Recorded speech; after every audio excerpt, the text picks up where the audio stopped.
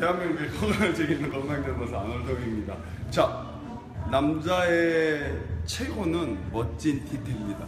근데 많은 분들이 그 Y자의 모양, 용의 모양을 갖고 싶지만 못 갖는 이유 중에 하나가 운동을 안 하기 때문이죠. 근데 진짜 중요한 건 남자의 등 운동은 딱 철봉 하나면 끝이 납니다. 아, 제가 먼저 보여드리겠습니다. 네 가지 동작부터.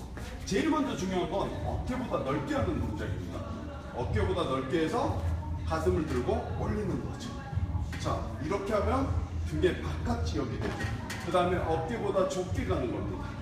그래서 어깨 넓이 정도에서만 하시면 이렇게. 자, 그러면 등의 약간 중간 부분. 그리고 어깨보다 좁게. 자, 이렇게 하면 등의 하부. 오케이. 그리고 마지막 서로 마주보게 하는 패러를 그림으로 하는 이렇게 네 가지 동작만 틈날 때마다 공원이나 학교에 있는 철봉에서 하시면 여러분도